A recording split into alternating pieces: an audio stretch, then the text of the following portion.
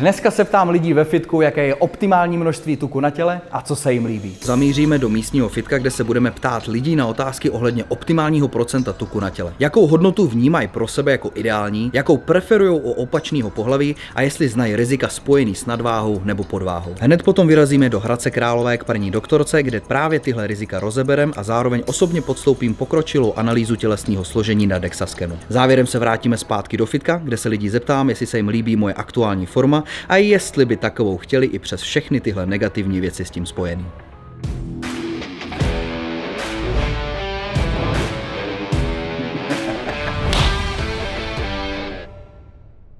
Aktuálně se lidi nacházím u nás v Hronově v nově postaveném fitku BeFit. Vevnitř čeká pár lidí, kteří vědějí, že přijdu a budu se je na něco ptát, ale nemají vůbec žádný ponětí na co. A myslím si, že to bude sranda. Tady máme dva jasný kandidáty, krásný mladý pár, ty budou určitě chytrý. Mohl bych se vás prosím vás zeptat na optimální množství tuku v těle? Pojďte kousek blíž, ať vás slyším. Zamyslíme se společně. Jak byste chtěli v dokonalém světě vypadat? Zkuste mě to prosím vás ukázat tady na ty fotce. Třeba ty začni. Já nevím, takhle asi. Bod číslo dvě, jo, 15%, jsi blízko? Já si myslím, že vypadáš výborně, tam bys mohla i být, ne? Takže ty vypadáš jo, jak tak chceš. nějak jako asi jo, no, asi, tak nějak Jo, přibližně. po- pohodě úplně. A prosím tě, jak bys chtěl ideálně vypadat ty?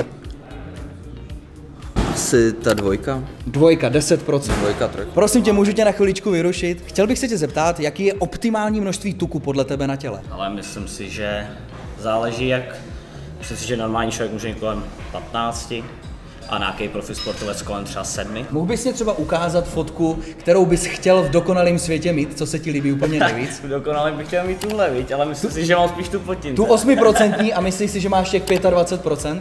A to bych možná nemusel mít tolik, no. Ale myslím si, že k tomu nemám vůbec daleko. Nazdar, chlape. Můžu se zeptat na pár trapných otázek? Jasný. Jaká je podle tebe optimální úroveň tuku na těle a jak bys chtěl ideálně vypadat? Chtěl bych vypadat co nejvíc vysekaný. Co nejvíc vysekanej. Můžeš mi to ukázat třeba na tyhle ty fotce?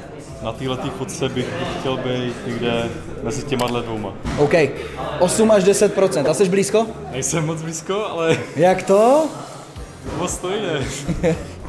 No, tak tady to jede, kurňa. Hele, bro, pojď. Musíme čekat, musíme čekat. Technika dokonalá, kamaráde. Tento tam má. Já jsem nečekal, že budeme do zítra. Selhání tam je. Hele, prosím tě, omlouvám se, že tě vyrušuju, doufám, že to pořádně roste. Vypadá to, že určitě jo. Chtěl bych se tě zeptat, eh, jestli, nebo jaký si myslíš, že je optimální tuku na těle, na člověku? O, tak určitě 10-15%. Jak bys chtěl vypadat ty? Tak určitě tohle první fotka. 8%, jo? Jo, určitě. Jsi blízko?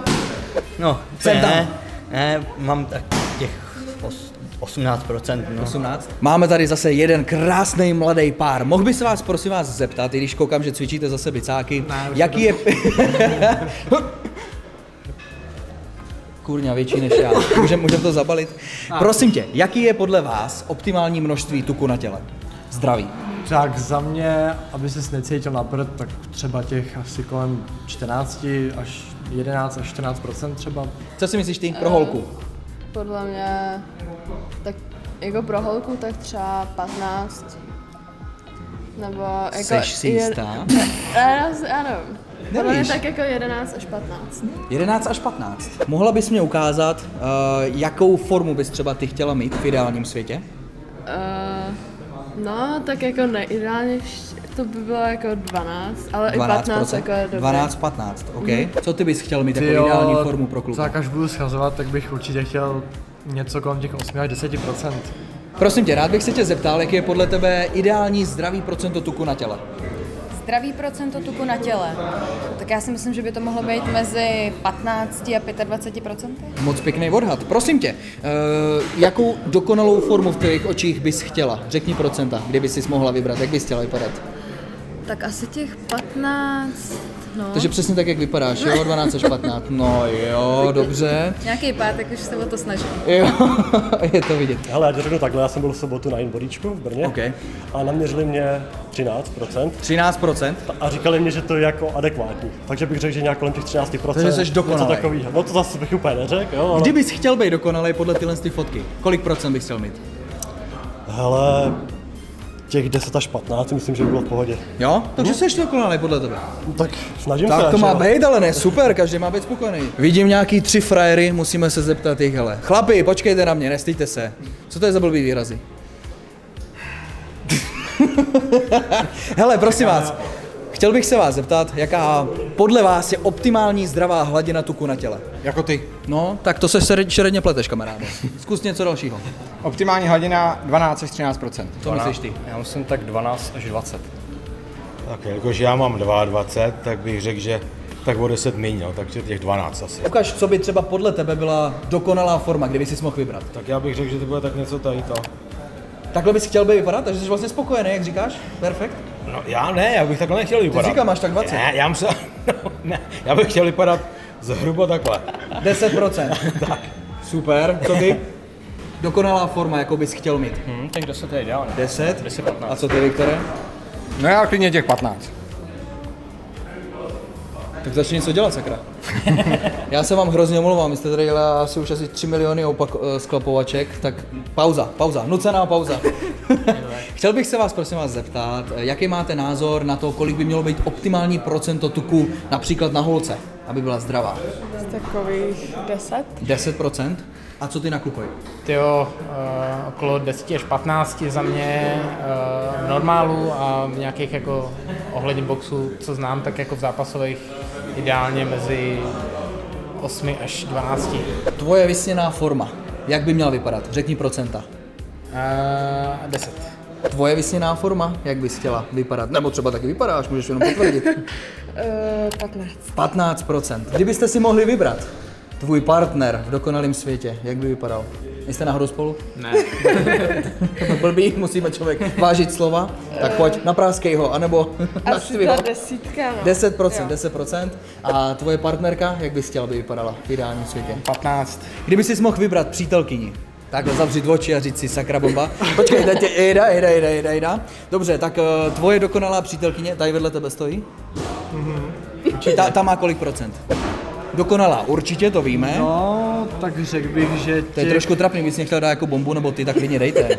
řekl bych, že těch kolem těch 20, něco po 20 by mohla mít, ale myslím si, že 20.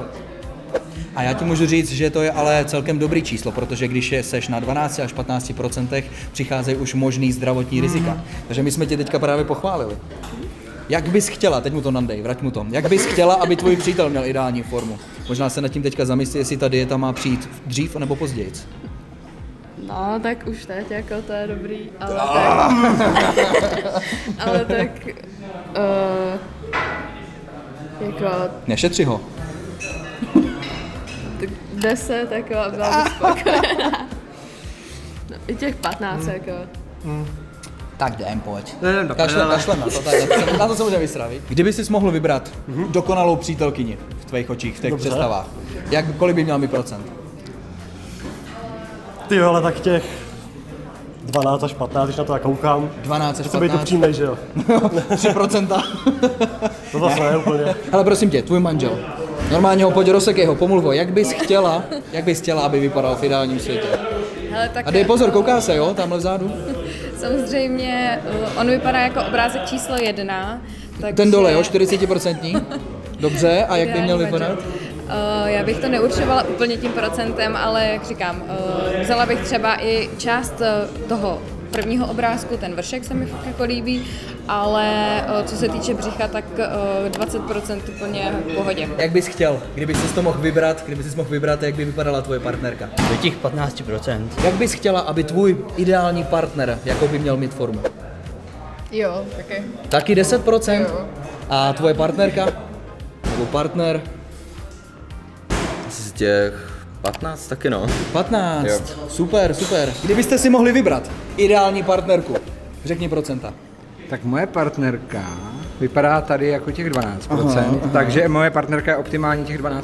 Já bych chtěl takovou Vyber si. spíš měkoučkou než hubenou. Mě, měkoučkou partnerku, tak to je Tak kolik procent? 20. 20 procent, OK. Měkoučka. A co ty? Dokonalej svět, ideální partnerka? Ne, já bych vzal asi tuhle. Dva- 25%. Chlapi, máte představu uh, o zdravotních rizikách, když je třeba chlap uh, až obézní, řekněme 40-50%? Co se může dít? Tak je tam určitě zvýšené riziko onemocnění srdce, cév. A Špatný cholesterol. cholesterol, no, spalování cév. Když to otočíme na druhou stranu, člověk je strašně podvyživený, kosta kůže. Co si myslíš, že se děje jemu? No, myslím si, že se necítí dobře celkově ve svém těle. Má hlad, nemůže se najíst, víš? Má hlad, nemůže se najíst, přesně To tak. jsem nečekal tu odpověď. ne, opravdu, soustřeď se, bravo, vážně trošku. Já se soustředím, ale jsem ve fitku, a vedle, vedle mě Aleš Lamka a jsem nervózní. Tak já radši jinam, to bylo dlouhý video zbytečně. No, já si myslím určitě nespavost. Nespavost. Dehydratace určitě. No, tak obezita, tak to zapříčuje, že jo, eh, zhoršení metabolismu, můžeš z toho mít cukrovku, různé věci. A podvyživení, to jsem nezažil úplně, takže nevím, no. Když člověk obézní, tak rozhodně třeba nějaký zvýšený krevní tlak, zvýšený cukr. Řekl bych, že nějaký problémy, že když do schody zadecháš se pomalu, to nějaký to kardio, nějakou tu kondičku. No, to bych ještě dodal k tomu. Teď nic jiného nenapadá. ale Zkus tu druhou stranu, když je člověk naopak třeba až řekněme vychrtlej. Až plně vychrtlej, tak určitě nějaká malá energie rozhodně. Ehm, nějaký problémy jako se zažíváním nejspíš. Ehm, nějaký vitamíny chybí rozhodně v těle, které nejsou dodávány prakticky v té stravě. No a to je tak asi všechno, co mě teď napadá. Jak si myslíš, že, nebo co si myslíš, že tě čeká, když budeš jakoby až moc vychrtlá? Nebo podvyživená? No, tak samozřejmě budu mít jako problémy s jídlem, že jako prostě anorexe, že jo? Mhm. Tak nebudu moc jako přijímat toho jídla, co bych Ok. jako měla. Při, poruchy příjmy potravy, dobře. A třeba když je holka jakoby obézní, jaký myslíš, že ona má zdravotní problémy?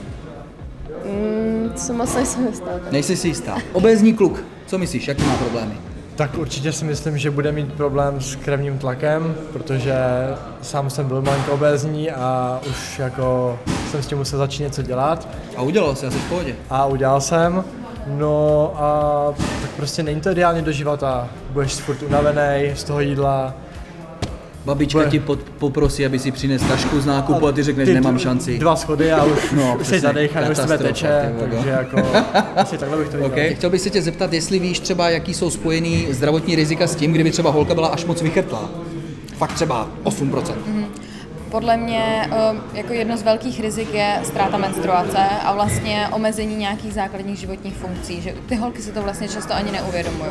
Takže špatná nálada nějaký základ, ale pak bych se bála opravdu zdravotních rizik, takže jako ztráta menstruace a, a podobně. OK. A na druhou stranu, když by byla holka obézní, Uh, tam bych uh, začala opět od špatných nálad a spíš nějakých psychických problémů třeba, které jsou často mi- minimálně stejně důležitý jako ty, uh, jako ty fyzické problémy a pak, a pak se váže s vysokým procentem tuku, prostě špatný cholesterol, cukrovka a podobně. mohl by se vás zeptat, uh, jestli znáte třeba nějaký zdravotní obtíže, které jsou spojené s tím, že buď má holka nebo kluk jakoby velkou podvýživu, anebo naopak, že jsou obézní? Tak diabetes uh, druhého typu, pak nějaký kardiovaskulární onemocnění, uh, potíže s pohybovým aparátem, zvýšený cholesterol, zvýšený krevní tlak. Znáš nějaký holky, které jsou opravdu podvyživený a jaký oni můžou mít problémy? Tak určitě, jakoby, když už je to fakt extrém, tak to může být tak, že vlastně se jim můžou mít problémy s orgány jako celkově, že se jim můžou nějak jakoby špatně fungovat celkově a vyčerpání, únava, malátnost, no všechno možný. No. Jak to vidíš u kluků? Podvýživa, obezita, máš ještě něco, co bys třeba doplnil nebo souhlasíš? Mm, Souhlasím úplně naplno, spíš si myslím, že jako k tomu, k té obezitě třeba problém s kloubama, hlavně asi. Toť, asi vše bylo řečeno. Toť vše. Podle mě to je jako velká zátěž pro ty klouby, takže hlavně trpějí klouby, myslím, a i s decháním má pak člověk problémy. Jsi unavený, jo, Je, často? že je unavený. A naopak, z druhé strany, kdybys byl jako hodně podvyživený, Tak myslel jsem, že člověk právě je taky unavený, že to tělo nemá z čeho čerpat tu energii okay. a nemá vůbec sílu na nic. A to jsou, to jsou takový pocitové problémy. Víš třeba nějaký přímo zdravotní problémy, kdybys šel doktorovi, co bude svítit červeně? Mě třeba cholesterol. Když bychom se nad tím měli zamyslet a představ si třeba hodně jakoby podvyživeného člověka, nebo například jakoby takový, řekněme, hodně obézního. Znáš nějaký rizika zdravotní, které jsou s tím spojený? Ale tak u ty obezity si myslím, ať už to může být z toho cukru a celkově z těch jako špatného jídla, ať už cukrovka nebo cholesterol vysoký, myslím, že tam může být problém.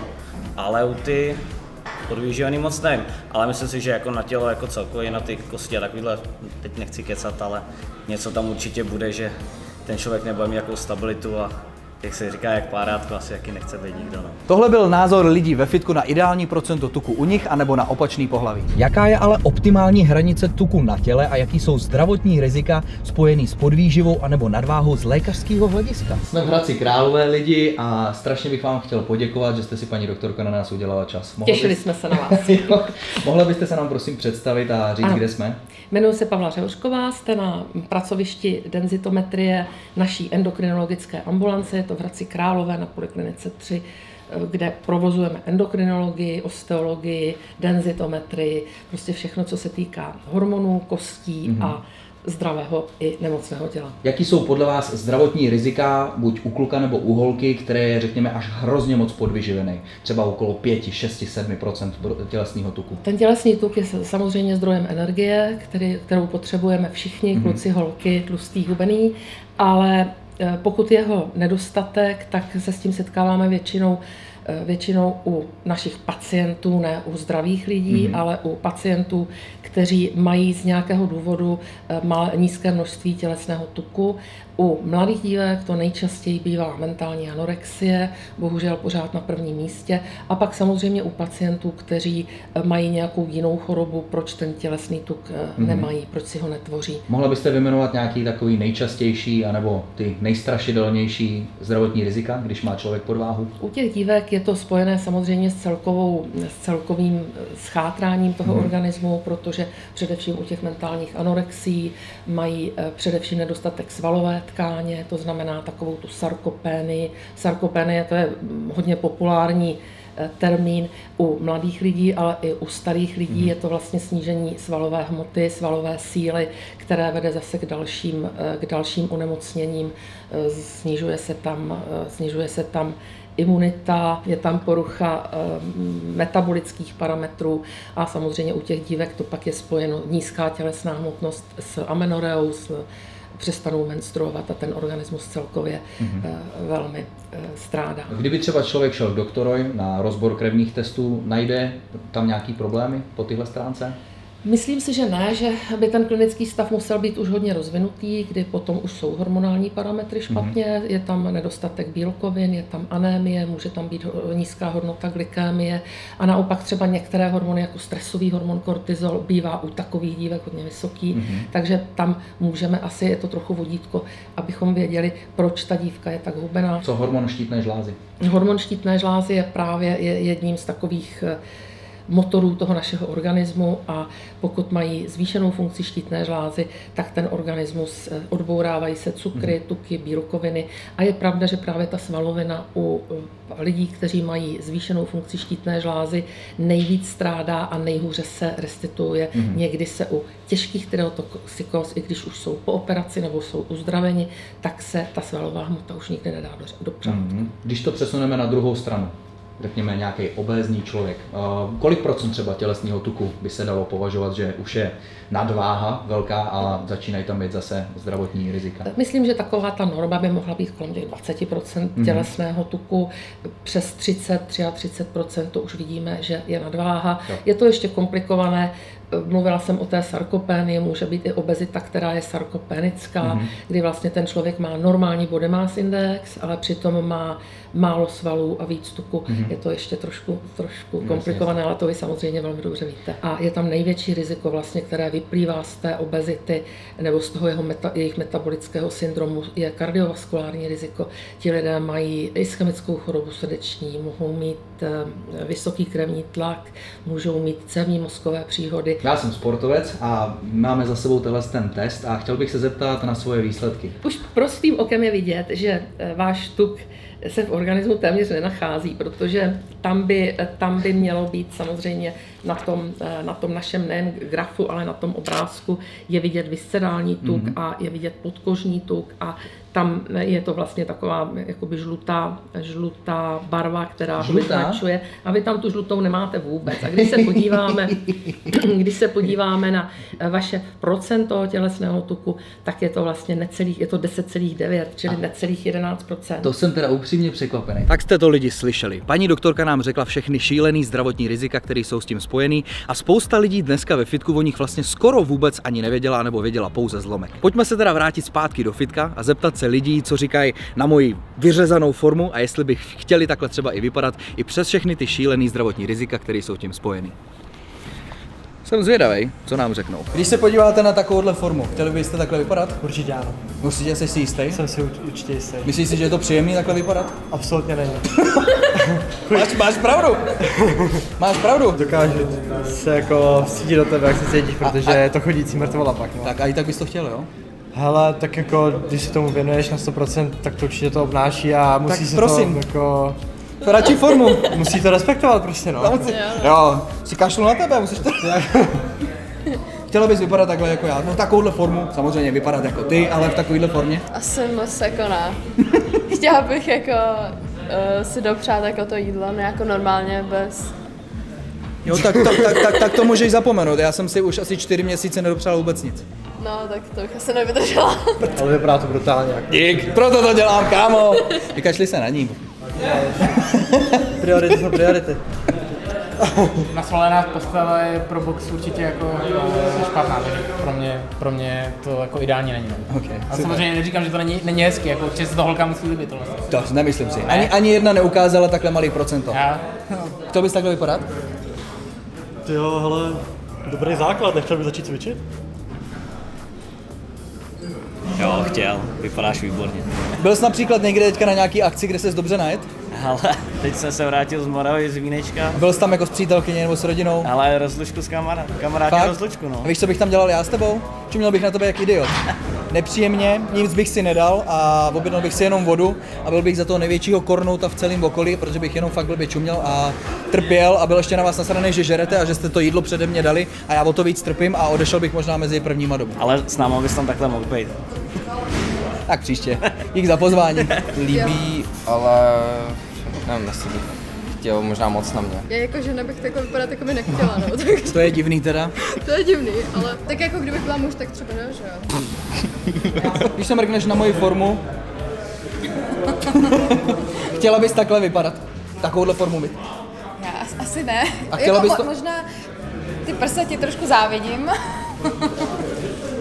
ale ale uh, asi, asi bych nemusela být takhle jako perfektně na tom s procentem tuku. O, perfektně. Ono to právě moc perfektní není, ti upřímně řeknu. Byli jste teďka někdy na jídle s manželem, nebo 100%. vařila jsi mu někdy? Ano. Mě manželka neuvařila už asi pět let, protože to neexistuje. Já si musím vařit sám. Když oni si uvařejí cokoliv dobrýho, protože jsou normální lidi, a já to cítím normálně na 8 metrů přes celý barák a vždycky za nima jdu a nadávám mi, ať to dají do hajzlu nebo prostě chcípnu. A oni vždycky musí poslechnout, protože se všechno musí točit okolo mě, jinak bych to nezvládl. A já neměl to svoji bří, břišní žílu tady a nevyhrál bych na závodech.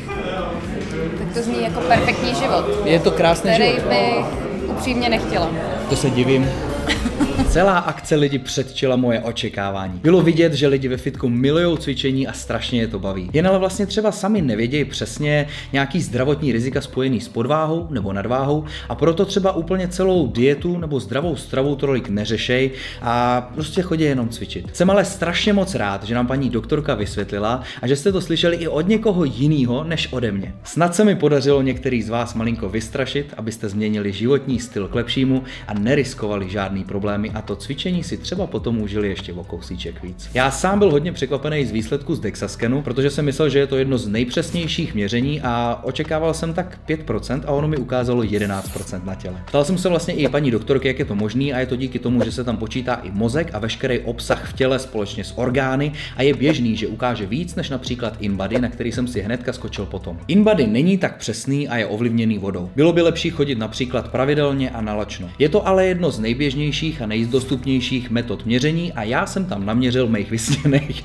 5% na těle. Víte, co je ale podle mě úplně nejdůležitější? Lidi to číslo strašně moc řeší. Ptají se mě ve zprávách, kolik mám já. Klienti se mě pořád ptají, kolik mají mít oni, ale podle mě je nejdůležitější cítit se dobře, být zdravý a dělat, co tě baví. Čísla nejsou tak důležitý. To, co cítíme, naše psychická a fyzická pohoda, to je podle mě to nejdůležitější. A přesně to se snažím dělat se svýma klientama. Děláme věci správně správně, zdravě a chceme se cítit líp. Můžete se mi mimochodem kdykoliv ozvat a každému moc rád pomůžu dosáhnout svých cílů. Dejte mi potom vědět hlavně, jak se vám lidi tohle videjko líbilo. Děkuji za každý like a sdílení, protože jsem strašně moc rád a přesvědčený, že vlastně musíme šířit tohle vědomí o zdravotních rizicích a dejte mě taky prosím vás lidi vědět, jak se vám celý ten koncept videa líbil, jestli byste chtěli pokračovat, rozebrat nějaký další téma v dalších fitkách a s dalšíma doktorama. Dělejte, co vás baví, makejte like a superhuman a uvidíme se zase někdy příště. Ahoj.